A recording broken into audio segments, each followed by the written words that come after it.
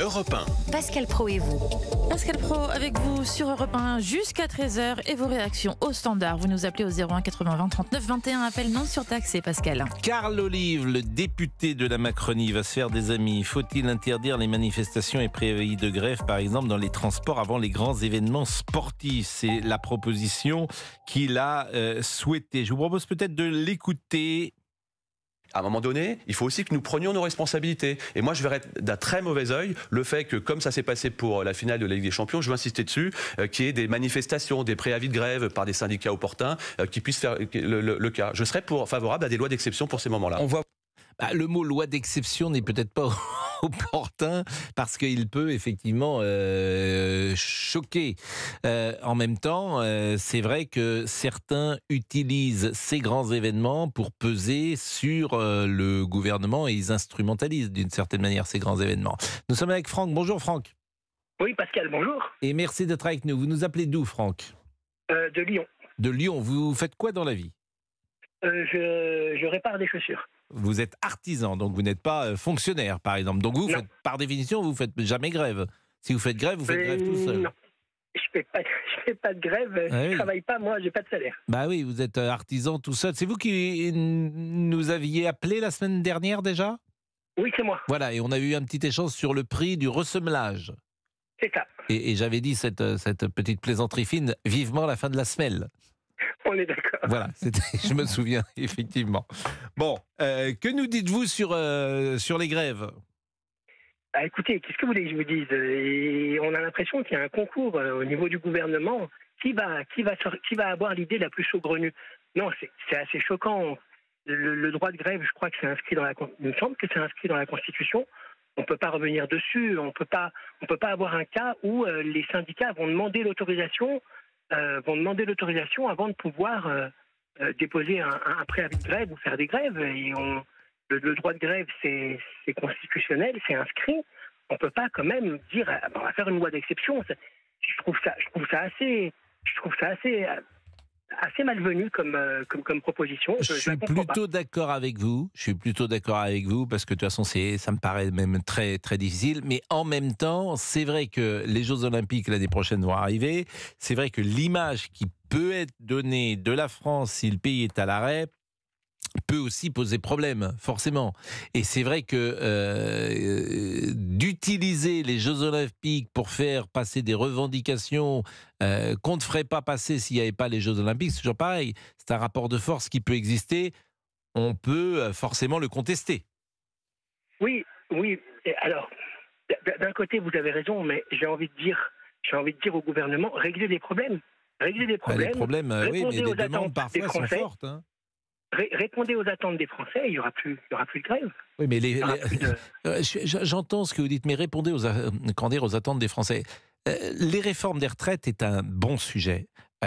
moi, j'étais effectivement pas forcément favorable à cette réforme des retraites, notamment pour ceux qui font des métiers pénibles. Mais si vous demandez aux gens de travailler plus, ils vous diront toujours non. Quand vous dites régler le problème des, retraites ou régler les problèmes des Français, les gens, ils n'ont pas envie parfois qu'on règle les problèmes comme il faudrait les régler. Vous voyez ce que je veux dire? Parce que parfois, c'est des sacrifices. Ça demande des sacrifices. C'est pour ça qu'il y a des hommes politiques dont c'est le métier. C'est le métier de trouver, des, de trouver des choses, de trouver des solutions, de proposer des choses.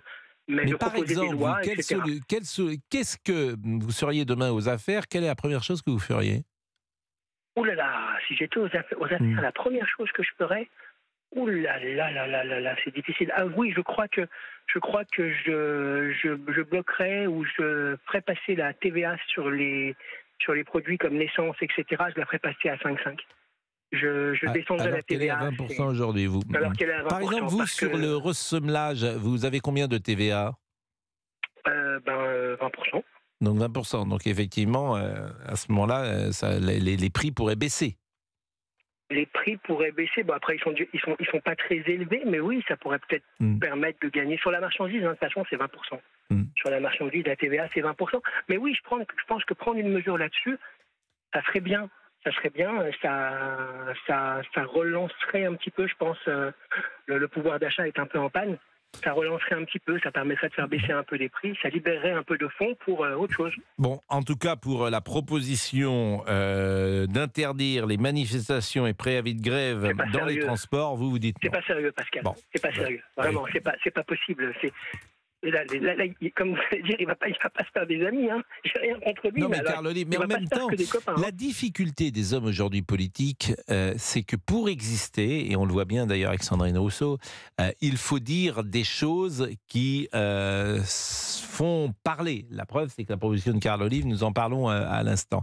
Et c'est toute la difficulté. Il y a des... Carl Olive, par exemple, qu'on connaît ici, hein, puisqu'il a été journaliste sportif, j'ai envie de dire qu'il a réussi euh, son passage de journaliste à homme politique, puisqu'il existe dans l'espace médiatique.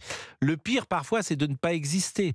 Donc, parfois, il peut faire des propositions qui valent ce qu'elles valent, mais elles ont un mérite, c'est que euh, elles font parler. Pour lui, elles ont un mérite, c'est qu'elles le mettent euh, dans la lumière et que euh, dans la carrière d'un homme politique, c'est pas mal. Il y a des, il y a des Oui. métiers qui ne supportent pas l'anonymat. Si vous êtes comédien et que vous- personne ne vous connaît, c'est ennuyeux. Si vous êtes C'est euh, ennuyeux. si vous êtes chanteur et que personne ne vous connaît, c'est ennuyeux. Si vous êtes homme politique et que personne ne vous connaît, c'est ennuyeux. Oui, enfin, il y a des fois, on- vous, vous me parliez de Sandrine Rousseau. euh, Elle ferait mieux de fois- taire. Oui, je suis d'accord avec Ah, vous. il y a des fois, Elle ferait euh, mieux, oui, il y a bah des oui. fois, euh, Je suis d'accord. Ah Bon, là vous là là bossez du lundi au vendredi ou du lundi au samedi, Franck? Du lundi au samedi, moi, Vous vous rendez compte Et là, par exemple, aujourd'hui, vous avez commencé à quelle heure? Euh, à 9h. 9 heures. Vous, avez, vous êtes tout seul, hein, vous nous avez dit la semaine dernière Oui. dans votre boutique. Vous allez fermer à quelle heure ce soir? Euh, 19h.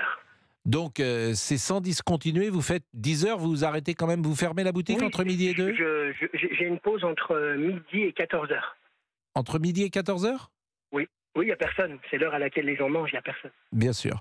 Et c'est vrai que parfois, euh, en- vous, vous êtes, euh, vous n'êtes pas à Paris, hein, vous êtes à Lyon, c'est ça? Non, je suis à Lyon. Oui. C'est vrai que, j'espère que je vais vexer personne là encore, mais le rythme de vie en région et à Paris n'est pas toujours le même. C'est-à-dire À Paris, ça bouge. Hein.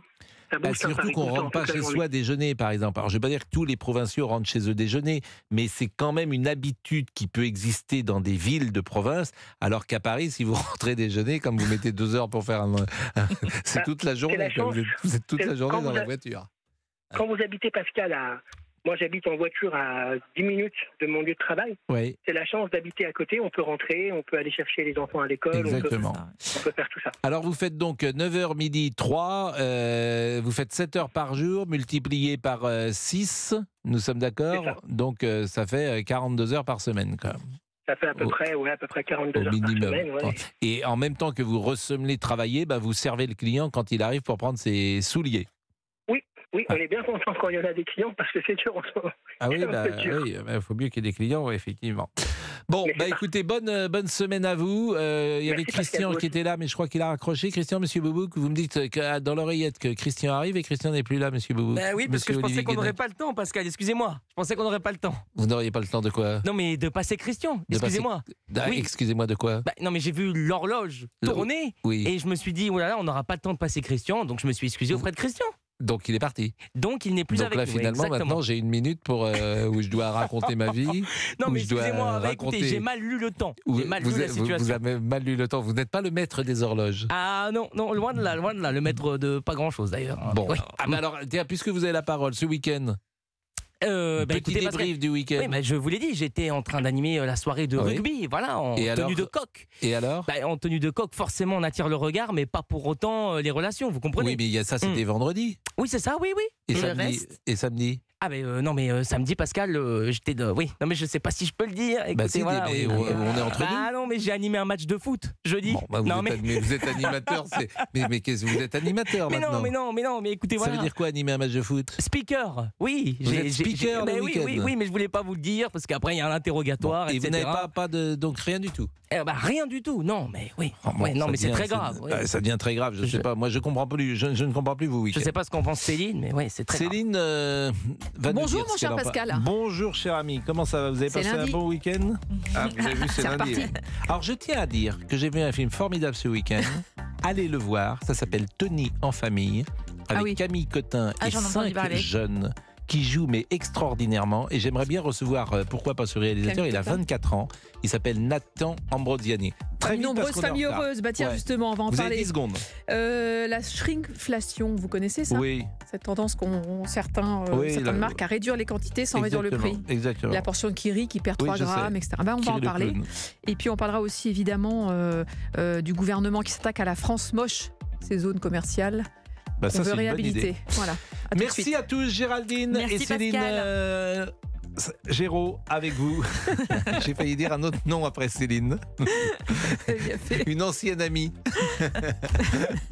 Euh, merci, merci et à demain. C'était Pascal Pro sur Europe 1.